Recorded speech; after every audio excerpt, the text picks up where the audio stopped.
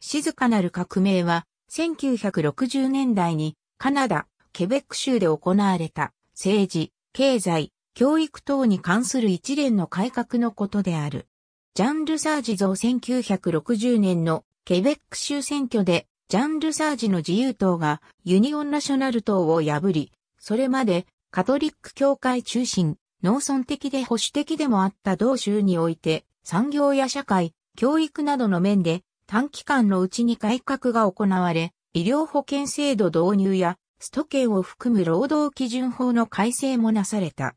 また、選挙以前のモーリス・デプレシ政権下の超保守的な価値観とケベック社会の更新性への批判として、同年にデビアン修道士が匿名で出版した某修道士のブレイコーは13万部のベストセラーとなった。我々の教育制度の失敗は思考そのものの麻痺を反映している。仏系カナダは誰も大ピラに思考しようとしない。我々がここで行っているのは、禁欲による、精錬、沈黙による、服従、慣れの惰性による保身である。ラバル大学哲学科で私が学んでいた頃、現代の社会問題と現実に関する講義はほとんど皆無だった。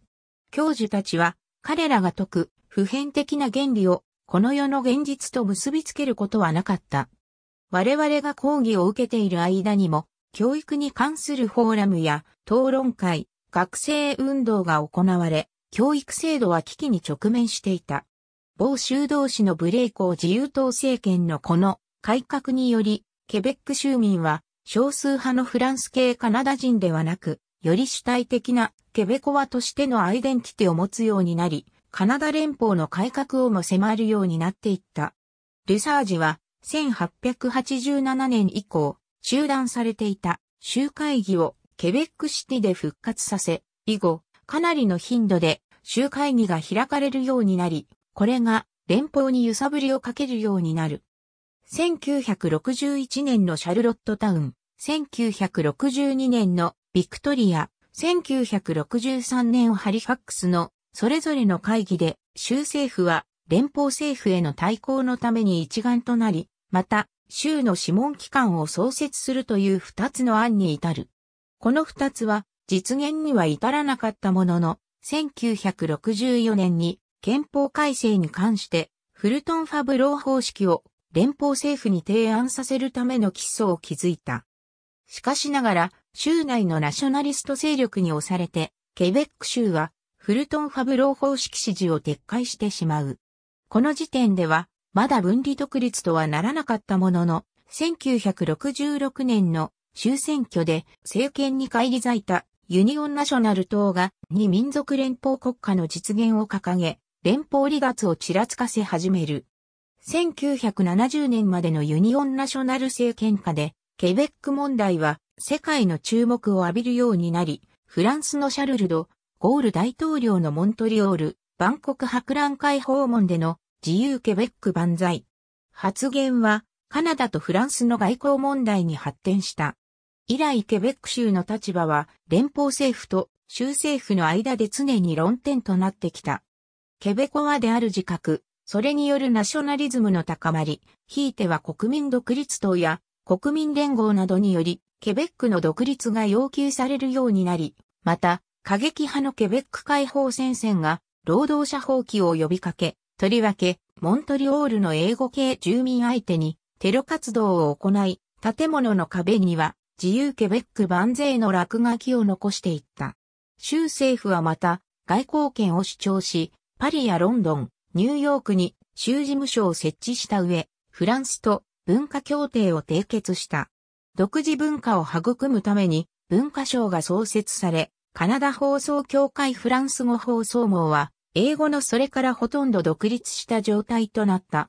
これに橋を発して、1963年には、二言語に文化調査委員会が設立されたが、ケベックの独自性強化は、住民内や政党内の亀裂を生むことにもなり、これによって政界再編が行われる結果となった。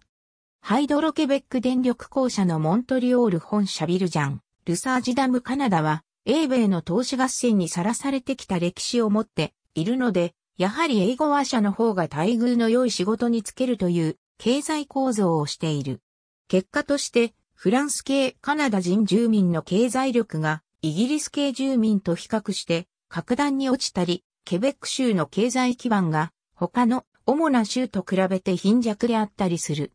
後者の問題は数字の捉え方にもよるが、ともかくそうしたことがあるという認識を踏まえて、社会民主主義及び民族主義をベースとした経済戦略が立てられるようになった。1962年、金融投資公社ができた。一応、企業誘致と中小企業支援を目的としている。鉱山開発や資源関係の公社もできて、州の北部やモントリオール近辺での産業創出がなされたり、先端部門での独自技術が開発されたりするようになった。1963年、カナダ年金と連結して、ケベック年金を始めた。同年、民間の水力発電会社を州が買収し、ハイドロケベック電力公社が誕生する。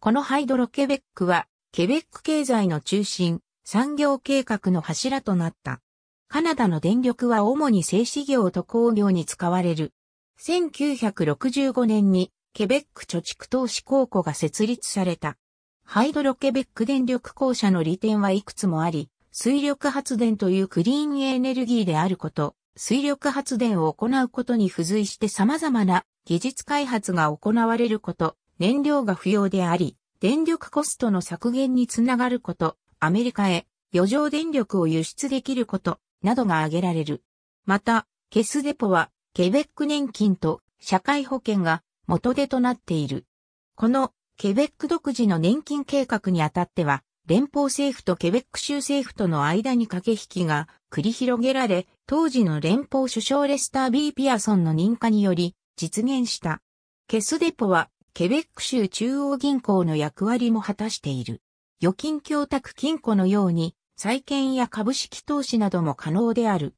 我々の最大の弱点は経済である。教育改革の必要性は、すでに広く認識されているが、経済の発展と支配が緊急に必要だということは、十分に理解されていない。我々は、カナダの持たざる少数派の一つであるゆえ、州政府の持つ経済力を利用すべきだ。州政府は、ケベックの経済発展と解放に参加するだけでなく、創造的な機関でなければならない。